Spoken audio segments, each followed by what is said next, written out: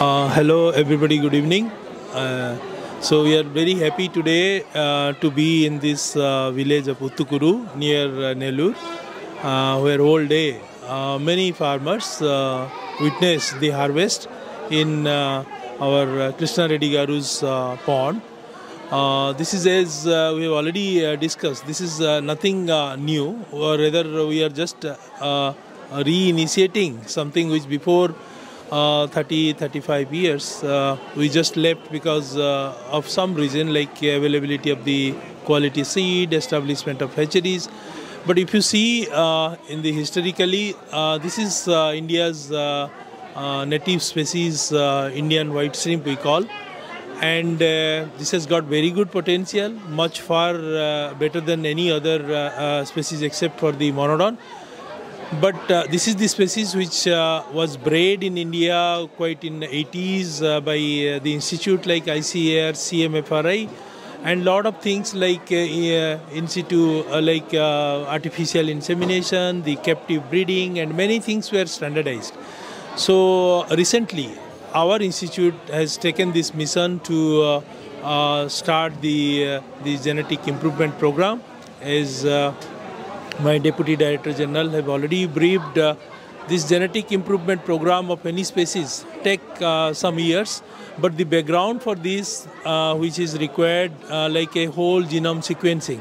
Nowadays uh, because of the genomic selection and some other selection we can select it very fast. We can take the attribute or the characteristics which uh, which describe its growth or resistance very clearly at the genetic level and uh, CIBA is the first institute.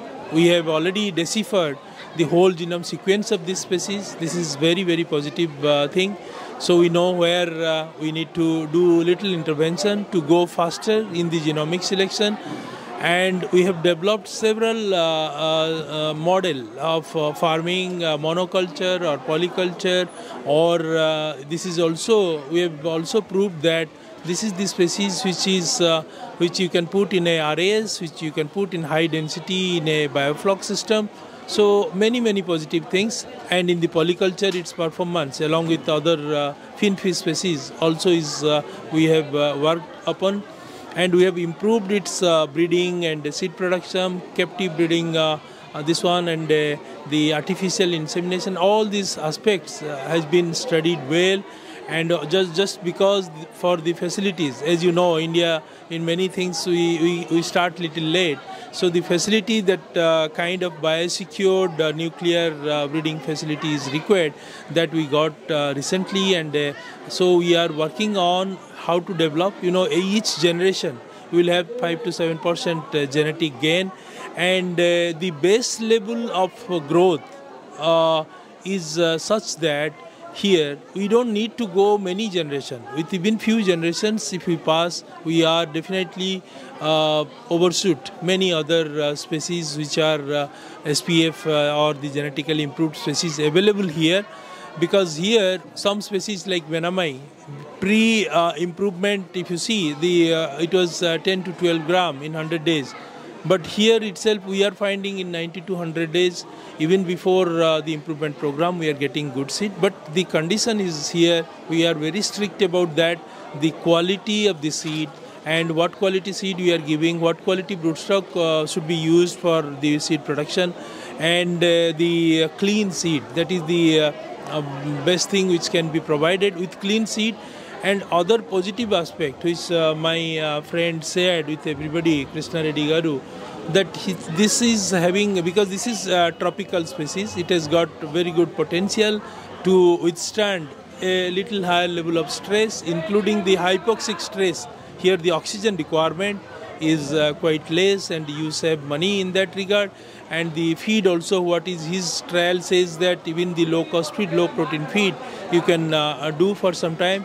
And the interesting part of this culture where we achieved uh, almost like 20.5 gram in 93 days is uh, if you see bearing the first month of growth almost every time it is the average daily growth which is the standard for evaluating uh, the performance evaluation of any species is almost like above 0.3 0.3 gram above it's uh, it's really very very uh, uh, tremendous uh, achievement that way he achieved. He didn't use any money for mineral addition or for probiotics or not many chemicals and this one he used but still the average uh, daily growth was uh, above 0.3 from 30 days onward or uh, 40 days onward. So that is really a very good thing and with only our uh, uh, selected or clean seed we are able to achieve this. And uh, i am sure with our genetic improvement program which we have initiated if we go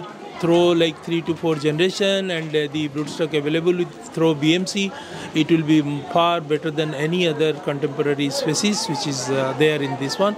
And not that we want to replace any species, but we need our uh, farmers definitely they deserve uh, more diversification, more diversified species.